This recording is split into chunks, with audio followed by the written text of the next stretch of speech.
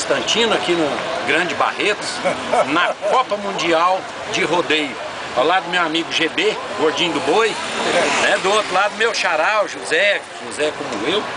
E hoje é aniversário do senhor, né, senhor Constantino? Então eu vou fazer o, o parabéns pro senhor.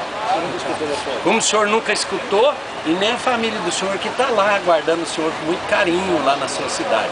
Então nós vamos fazer bem, bem alegre assim, ó.